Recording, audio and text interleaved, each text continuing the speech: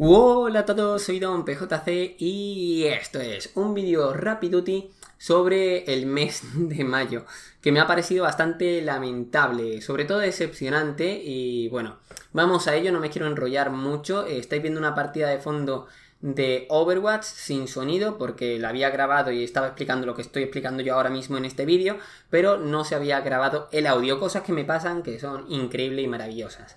En fin, Vamos a ello, vamos a, voy a hablar de cinco títulos, eh, los cuales, pues como digo, me han parecido bastante lamentables. A ver, no todos.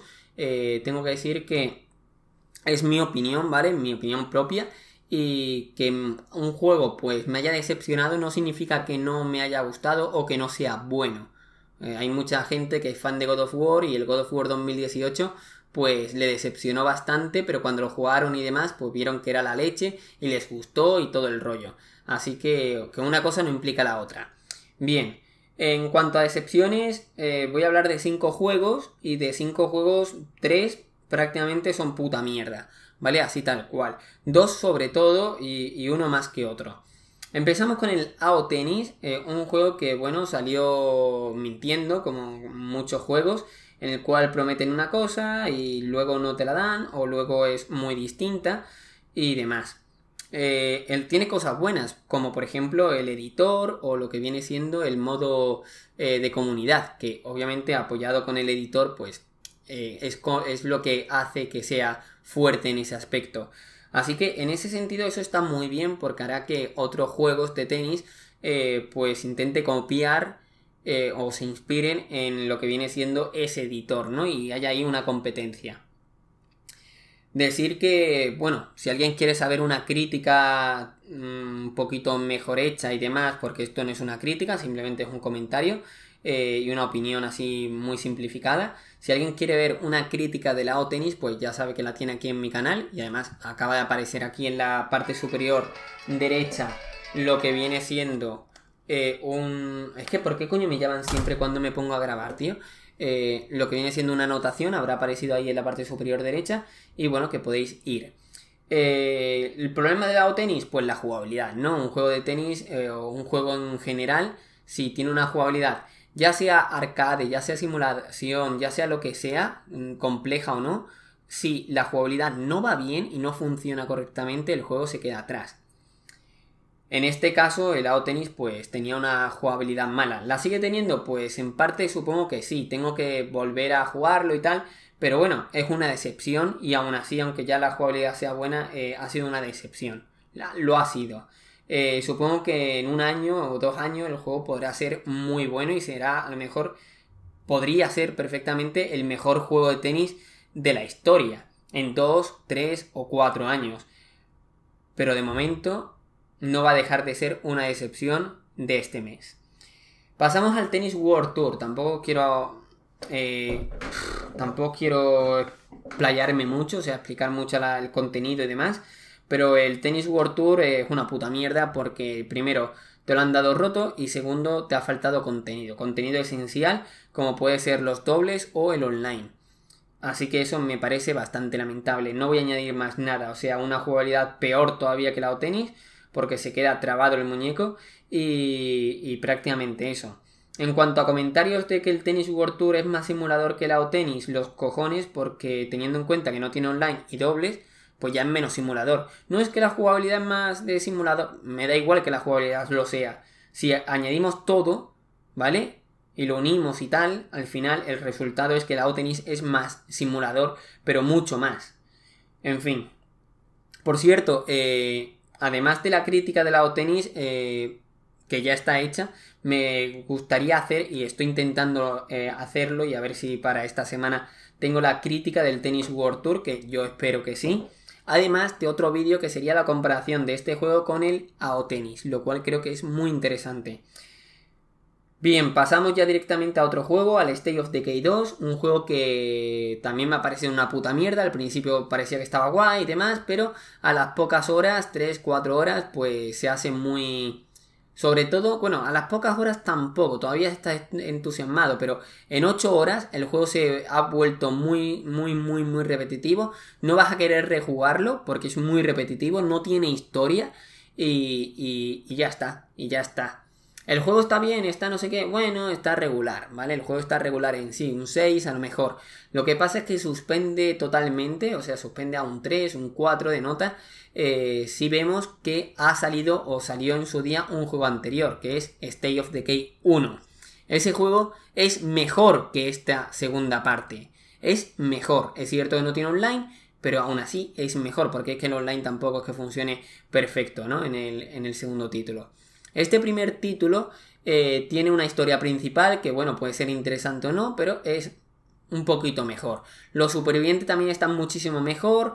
Tienes aliados, tienes enemigos, eh, está todo muchísimo más, eh, no sé, tiene más historia y muchas más cosas que hacer. Al menos te da que tiene más vida, que no, que, que hay más cosas que hacer en todo, en toda la región. No solo lootear. Además la dificultad es mucho más, eh, es mayor que en el segundo título. En el segundo título es muchísimo más fácil y no te penaliza tanto por errores o, por cansancio y tal. Decir que el segundo título pues añade mejoras, y, pero también eh, empeora otras cosas. Por otra parte, decir que el segundo, el segundo título lo tenía muy, muy, muy fácil para triunfar.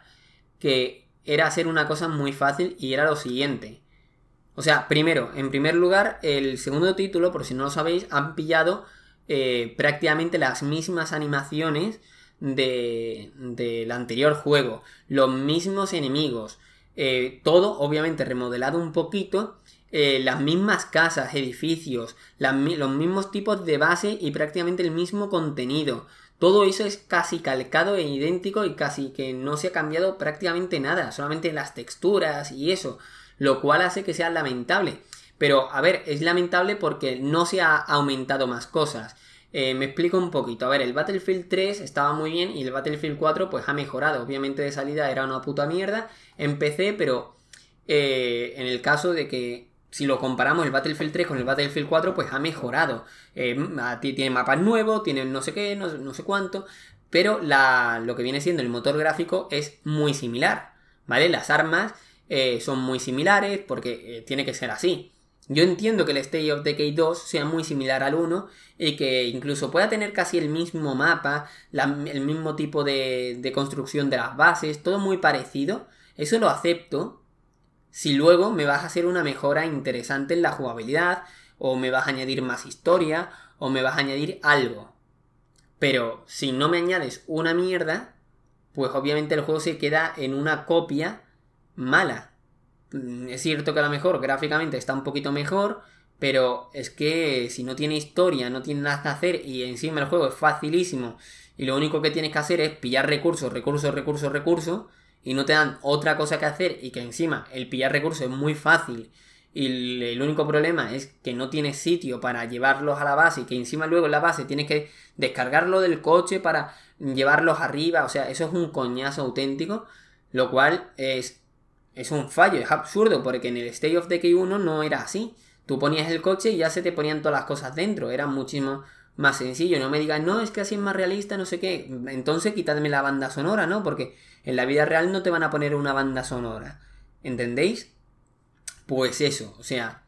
Luego también está lo de las infectaciones, que bueno, está bien, pero en cuanto te cargas a una o dos, ya sabes cómo cargártelas y no es complicado. Por otra parte, luego también tenías, bueno, tienes algunas cositas de más, pero eso que en falta historia y falta cosas que hacer.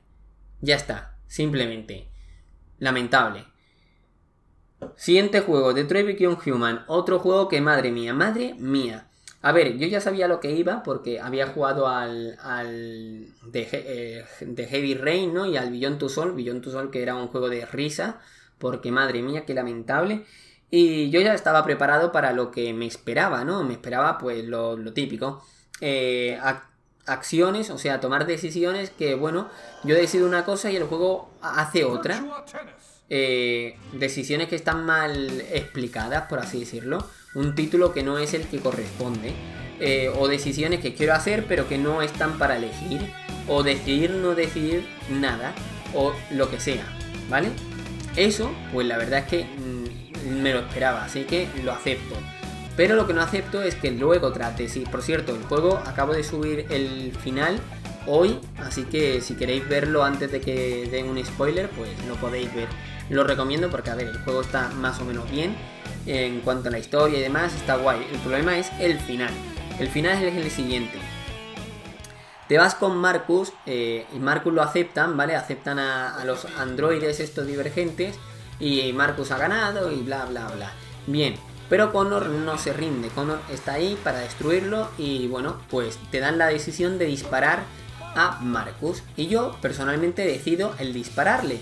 Le disparo, pega el disparo y a continuación se ve la cámara que mira hacia la novia de Marcus y luego mira hacia Marcus. Y luego pantalla en negro y se termina el juego. O sea, he hecho unas decisiones, pero no me ha estado la finalidad. ¿Qué, ¿Qué ha pasado? ¿Qué ha pasado ahí? ¿He decidido algo? ¿Dónde están las consecuencias de esa decisión? ¿Dónde están? No está, no está, o sea, no lo entiendo.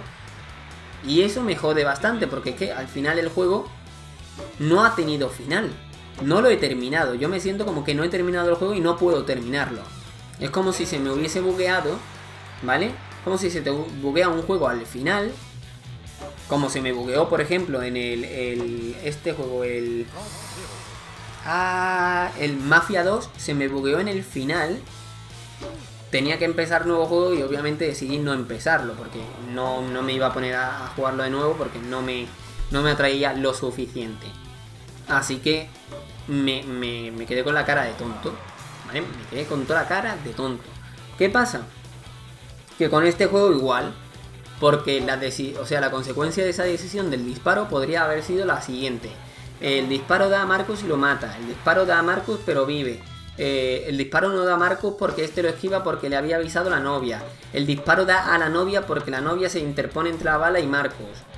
Eh, y luego las consecuencias de ese disparo podrían ser las siguientes de pues Connor muere porque los compañeros de Marcus se los cargan o eh, Connor vive porque aún así lo perdonan, o Connor se da cuenta y evoluciona a ser un, un, divergente, porque al ver cómo la novia se sacrifica por él, piensa, oh, tiene alma, tiene humanidad, no sé qué, y, ahora es de los buenos. No sé. Por ejemplo, ¿vale? Esto se me ocurre sin pensar mucho. Pero no, han decidido no mostrar nada. Lo cual hace que el juego no tenga final y me quedé con, me quedé con la cara de tonto. Porque en serio, podéis ver la, la reacción que tuve, porque es para fliparlo. En fin, pasamos al último juego que sería el Pokémon, que no ha salido, no es un juego que haya salido, pero sí que se mostró un tráiler el día 29 de mayo, si no me equivoco, de Switch, ¿vale? Switch, Pokémon en Switch, el cual pues dije, ostras chaval, qué chulo, no sé qué, pero que va, mm, para nada, porque el juego es una copia, o es más bien el juego de móvil, el Pokémon Go, pero para Switch. Lo cual tiene sentido, ¿no? Porque ha generado muchos ingresos y tal. Pero, eh, en serio, really, really, really, me esperaba otra cosa y me ha decepcionado. No digo que sea un mal juego, porque seguramente será un buen juego, pero bueno, es lo que hay. En cuanto al juego, pues me parece que se puede luchar contra eh, entrenadores, por lo que he escuchado, aunque no he visto nada. Eh, lo que sé seguro es que el capturar a los Pokémon se captura con la Pokémon, igual que en, en Pokémon Go, y ya está. O sea, no tienes que debilitarlo, no, nada. Así que bueno, pues para fliparlo un poco. En fin, no sé, dejadme en los comentarios qué opináis al respecto de este vídeo. También qué opináis de la, de la partida de aquí la personaje esta. No sé si habré puesto también la partida que jugué con, con May, que me mola mucho May.